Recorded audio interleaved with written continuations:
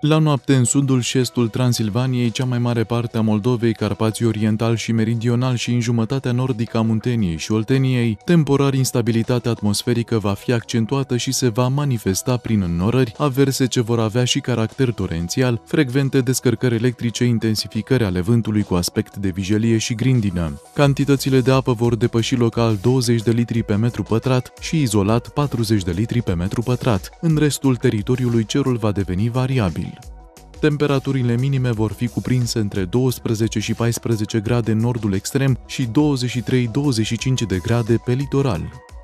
În capitală, cerul va avea unele înnorări și vor fi intensificări temporare ale vântului, posibil cu aspect de vijelie la începutul nopții, averse și descărcări electrice. Temperatura minimă va fi de 21-22 de grade.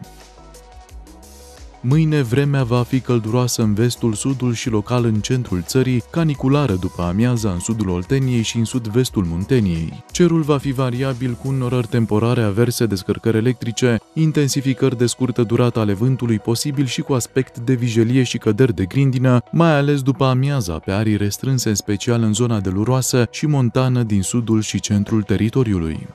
Temperaturile maxime se vor încadra între 24 de grade în nordul Moldovei și 35-36 de grade în sud-vestul Olteniei.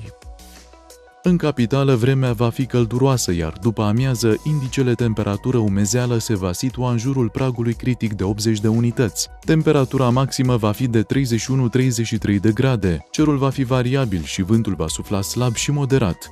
La munte vor mai fi intensificări specifice instabilității atmosferice. Cerul va fi variabil cu norări temporar accentuate și pe arii restrânse, îndeoseb după amiaza vor fi averse, descărcări electrice, intensificări de scurtă durată ale vântului și căderi de grindină. La mare, vremea se va răcori, menținându-se încă local călduroasă. Temperaturile maxime se vor încadra între 29 și 31 de grade, iar cele minime se vor situa între 20 și 23 de grade, astfel că disconfortul termic va fi temporar accentuat la orele amiezei când indicele temperatură umezeală va depăși izolat pragul critic de 80 de unități. Cerul va fi variabil, cu înnorări trecătoare în prima parte a intervalului când izolat vor fi condiții de averse și descărcări electrice. Vântul va sufla slab și moderat cu unele intensificări în prima parte a zilei. Temperatura apei va avea valori cuprinse între 25 și 27 de grade.